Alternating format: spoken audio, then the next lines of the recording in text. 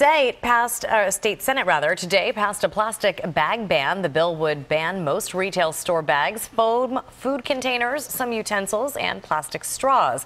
The bill also calls for a ban on paper bags at grocery stores and other retail establishments. The ban has not been passed by the state assembly.